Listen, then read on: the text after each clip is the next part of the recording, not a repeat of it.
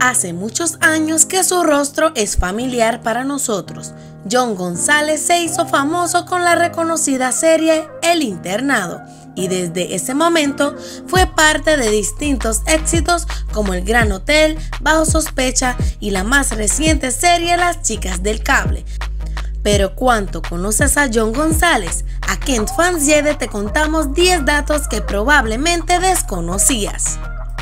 Nació en Vergara, un pequeño pueblo de Guipúzcoa, donde vivió hasta los 20 años de edad, pero se fue de allí y se instaló en Bilbao y se anotó en una agencia de modelos. Dos días después ya estaba en las pasarelas de Madrid y a los cuatro meses lo llamaron para ser parte de la serie juvenil SMS. Cuando comenzó a trabajar en Madrid, compartía una casa con ocho personas en esa ciudad.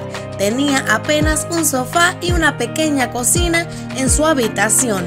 La fama llegó para él de la mano del internado y en ese momento se mudó con su compañero de elenco y amigo Martiño Rivas.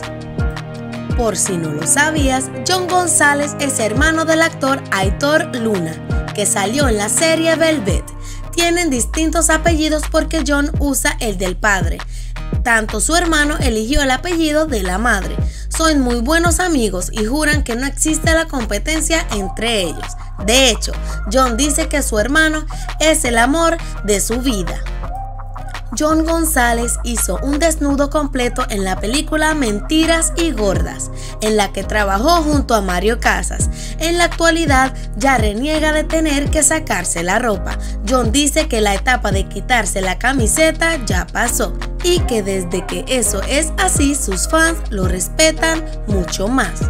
Sus géneros preferidos de cine son la comedia y el drama y asegura que lo hace llorar una y otra vez la película yo soy Sam.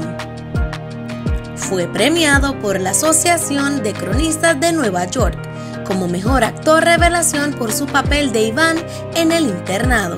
John afirma que si le llega a faltar trabajo en España, se iría mejor a Nueva York.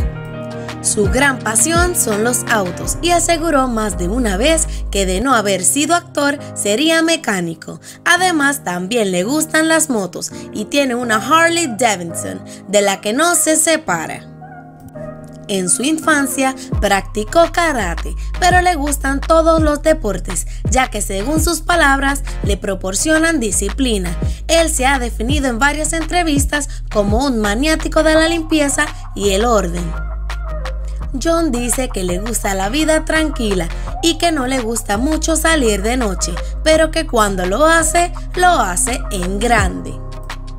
Hasta el momento, John González está soltero y sin compromiso. Su última pareja fue Angela Cremonte, que hace el papel de su esposa en Las Chicas del Cable.